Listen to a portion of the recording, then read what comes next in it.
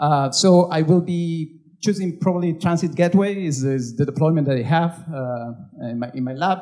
But well, there will be other other services that AWS, for example, will provide, like Direct Connect. If you have on-prem and you need connectivity to your to your um, you know cloud uh, clusters, and there will be other VPN services as well.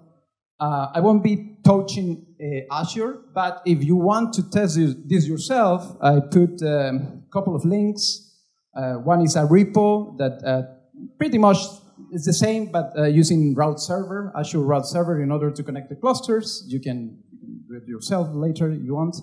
This is a blog post. Again, my colleague Jonathan uh, Savo, which is a principal solution architect as well, he made both of them are great resources if you want to, to look at those uh, later. So I, I will just uh, go do a walkthrough uh, so, using the transit gateway is an example of how to use Calico in order to connect multiple clusters. In this, in this particular example, I use uh, EC2 instances using kubeadm on top of them.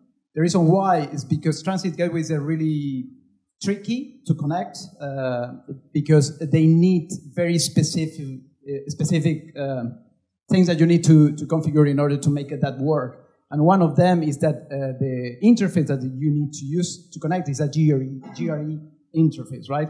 So for me, it was much easier to use a, a kubeadm cluster where I can modify the EC2 instance. If you're using EKS, probably will make sense to do this connectivity using other methods like Lattice, or they have specific services, services that will allow you to do that as well, and you can use Calico on top of that to use the micro-segmentation as well. In this case, I, I used uh, kubeadm. So essentially what I am using is uh, I'm using that GRE interface just to send the updates to, to the transit gateway. I have two VPCs. One VPC is using 172.16, uh, the other VPC is using 172.19. And basically, I want to keep the connectivity of the VPC in, in the VPC route table, right? So I am using the GRE interface just to tell uh, the transit gateway, these are the blocks of pods that we use in this cluster, but I do not want to use this interface for my connectivity. I still want to use the, the, the, route table. And that's the reason, in order to make this work, there are several things that you need to do. But one of the main things is, uh, let's say you have your route table. The route table will say any traffic that goes to internet, go to the inter, uh, internet gateway, if, you're, if, if it is a public cluster, obviously. Um, everything that is local will remain local, obviously, and everything that is uh, RFC 1918 or private addressing, I will have three routes that will go through. Uh, anything else, go to the transit gateway. Transit gateway will know how to get there, right?